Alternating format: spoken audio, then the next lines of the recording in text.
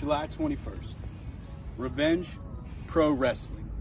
The Erie Elite Invitational. And Preston Everest was the number one draft pick for the Erie Elite Invitational match. Now I know what you're thinking.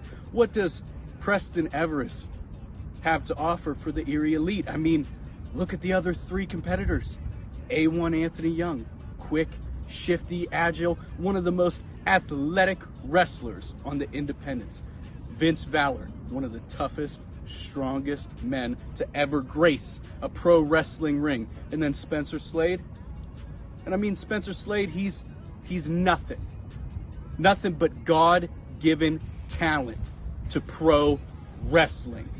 So what does Preston Everest bring, bud? Intelligence. See, I've seen my competitors. I know their strengths and I know their weaknesses, bud.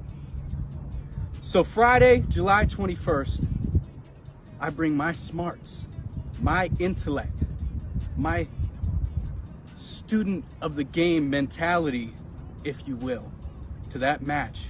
And I'm willing to do whatever it takes, bud, because history shows that that match has elevated superstars to the top of revenge pro wrestling. And, bud, history beckons Preston Everest.